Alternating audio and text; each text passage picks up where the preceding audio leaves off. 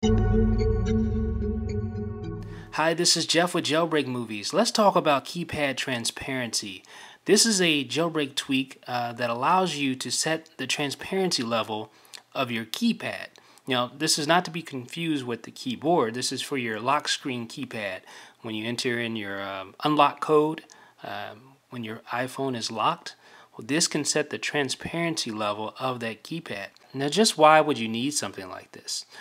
That's what I thought when I first uh, read about this jailbreak tweak, but really here's the developer's thoughts. They're saying that if someone's looking over your shoulder, it's going to be difficult to discern what your passcode is if your keypad is transparent.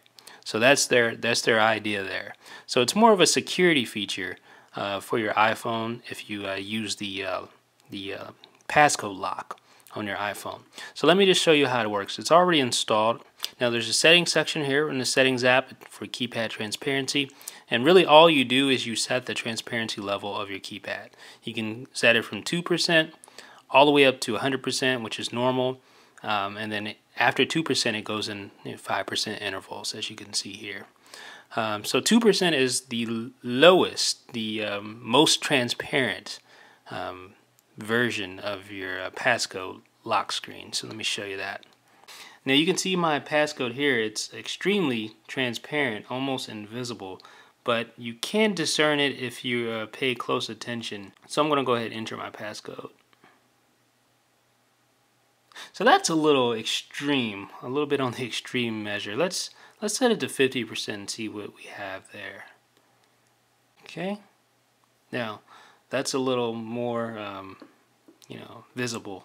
So I don't really know. I mean, the thought is good behind this tweak, but really, I mean, I don't think this is going to prevent anybody from um, getting your passcode. I mean, they're still going to be able to tell what your passcode is just by the location of your of your button presses. But I guess any security is better than none. So um, I guess this is uh, worth trying out if you're really concerned about someone stealing your passcode. Just just don't have your iPhone in view uh, when you enter your passcode.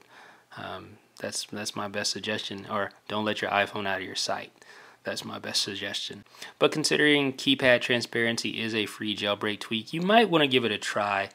Personally, I don't feel like this adds really much security at all to your iPhone, but it's worth a shot if it's something that really concerns you.